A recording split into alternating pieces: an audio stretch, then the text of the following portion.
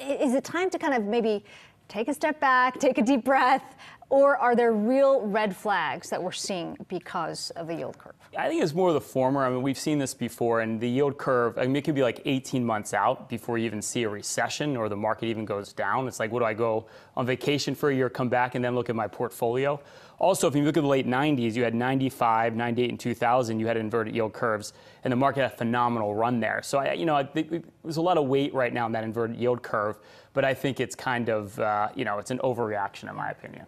And Ryan, you said that, you know, some of the sell-off that we're seeing today is a bit of profit taking. I mean, you look at what happened yesterday in the markets, we saw a big right. rally on the back of some tariff relief. Um, is this actually a good opportunity to get in? I mean, absolutely. Like, what's changed? We just talked about the fundamentals. I mean, look, and that's what you have to look at, right? GDP is relatively strong, and you know it's slower than last year, but last year we had a tax break, so it was kind of artificially engineered to be a bit higher. This is the normal growth we've had for 10 years now. You've got, you know, you've got inflation low, which is excellent for the consumer. And I think we don't talk enough about that. The consumer is in like the best shape they've been in in a very long time. They're not leveraged like they were before 2007. Um, people are actually like paying down debt, which is shocking in America. Um, so I think when you look at that and you look at the fact that this is the second sell-off we had this year, we hadn't had many opportunities to actually get into the market. Like you've got to take advantage of the opportunities. They just don't happen yeah. that often. Uh, when you look at sectors, one of the biggest decliners on the day are financials, which is not surprising given um, that we're seeing the yields come down.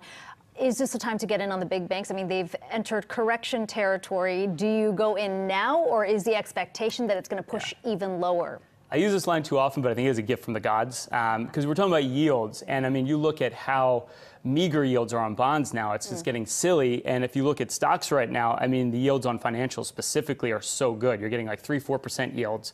You've had a lot of stock buybacks. Um, you've also had a lot of increases in, on the dividends, which will probably continue. So a little bit of weakness in earnings, I would say, like take advantage of it right now. Multiples are very cheap on banks, and definitely buy.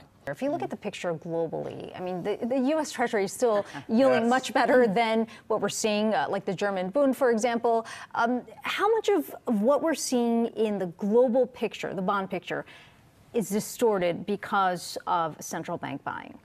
I think it's, that's what started it, but we were talking about this offset. I mean, you have literally almost $500 billion going to bond funds this year. And so that's a lot of that's retail money just being completely irrational. And I start looking at, I'm going to get a negative yield on a German Bund, and I could buy like a basket of hmm. high dividend paying European stocks paying like 5 6% right now. Like at some point, you have to say, this is crazy. There should be some money going into equities here because equities, again, are just so cash flow rich.